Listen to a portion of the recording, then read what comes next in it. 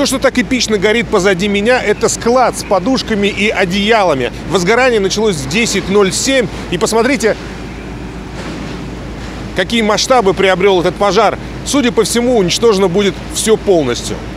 Впрочем, так казалось только в самом начале. К моменту приезда техники МЧС два ангара из трех уже полыхали, но вот насчет третьего как раз у бойцов противопожарных расчетов было свое особое мнение. Они остановили распространение и начали тушить основной очаг. Пожару на улице Аэропортовской был присвоен второй номер сложности, обеспечен подъезд водовозов. Первоначально заявленная площадь горения в 1200 квадратных метров благодаря пожарным сократилась почти вдвое. В 13 часов 7 минут пожар был локализован на площади 700 квадратных метров.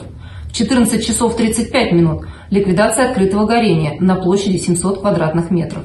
В ликвидации пожара принимало участие 11 единиц техники, 35 человек личного состава. По нашей информации, склад принадлежит одному из частных предпринимателей из Москвы. Последний завоз товара здесь был месяц назад. О причинах пожара наверняка говорить преждевременно но общий ущерб вполне можно оценить в сумму более миллиона рублей.